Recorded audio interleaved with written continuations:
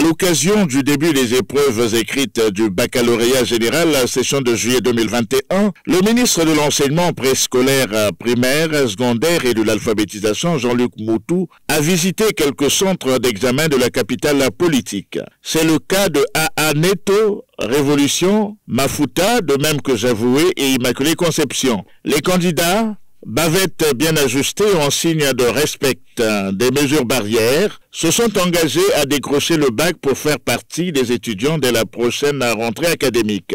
Au terme de sa ronde, Jean-Luc Motou a exprimé sa satisfaction, nonobstant quelques défauts observés dans certains centres. Il a également invité les parents et les candidats à plus d'engagement dans la préparation des examens précisant par la même occasion la sécurisation des sujets à travers la fermeture des malles au moyen des cadenas intelligents favorisant leur traçabilité. C'est l'innovation de ce baccalauréat 2021 après les caméras introduites en 2020.